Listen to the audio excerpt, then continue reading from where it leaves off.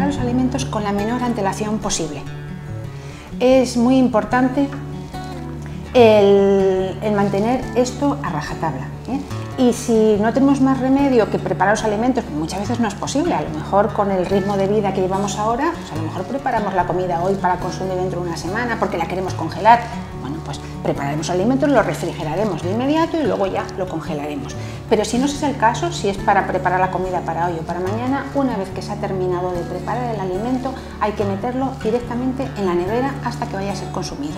A no ser que se vaya a consumir en una o dos horas y entonces mantenerlo en caliente, ¿eh? pero nunca a temperatura ambiente.